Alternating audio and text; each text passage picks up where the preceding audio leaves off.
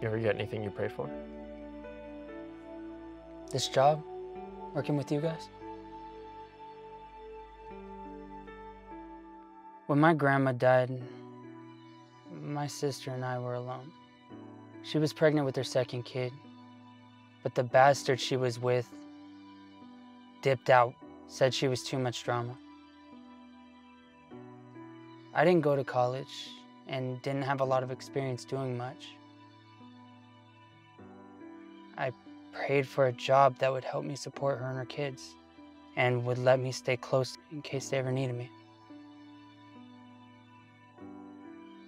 Saw the ad for the site the next day.